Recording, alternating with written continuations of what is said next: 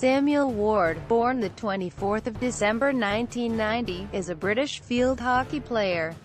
Ward competed for Great Britain at the 2016 Olympics, and for England in the 2014 Men's Hockey Champions Trophy.